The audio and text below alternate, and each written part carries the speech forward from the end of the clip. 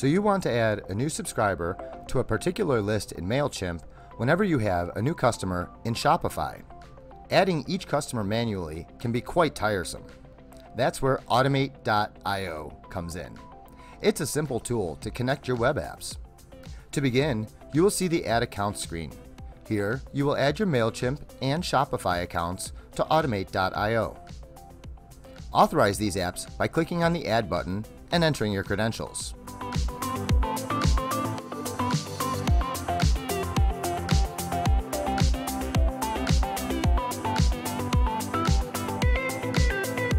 And don't worry, we keep your data secure.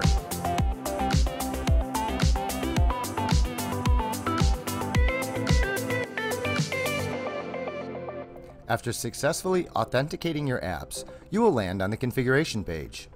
On this page, you will configure the specific data that you would like to transfer from Shopify to MailChimp. And once you complete this step successfully, Automate.io will add a subscriber to a list in MailChimp when you get a new customer in your Shopify store. So let's first focus on Shopify, which is our trigger app. This is used to define when our automation should start. This is when you get a new customer in your Shopify store. And now, moving over to MailChimp, this is our Action app, which defines what action should happen in the workflow. In our case, we want to add a subscriber to a list whenever we get a new customer in our Shopify store. And for this automation to work, you will need to fill in the right value in the required input fields for MailChimp. First, we need to select which list we would like our customers to be subscribed to in MailChimp. Then, by default, the Update If Existing field is selected Yes to avoid duplicates in your MailChimp list. You of course can change this if you wish to do otherwise. And as you can see, this template already has the email address, first name, and last name mapped from Shopify to MailChimp like this.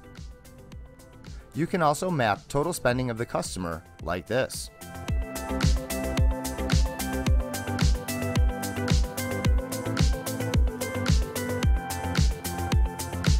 We've now completed setting up our bot. Now, let's move on and test it out. So let's click on Done. Then in this stage, we will test our newly created automation, which we will call a bot. The purpose of this step is to double check whether our bot works the way we would like it to and we can do this by either entering sample data or by creating a new customer in Shopify. I'm going to show you how to test creating a new customer in Shopify. So we will go to the Customer tab in Shopify, then click on the Add Customer button right here, then enter the first name, last name, email address, and telephone number. And then click the Save button. Now move back to the dashboard of Automate.io and click I'm done. And always remember, when you click on Save Your Bot, Automate.io will actually create and add a subscriber to a list in MailChimp when you get a new customer in your Shopify store. So your bot will run in the background and do all of this work for you. So if you'd like to try out this automation, click on the link below to get started quickly. Questions?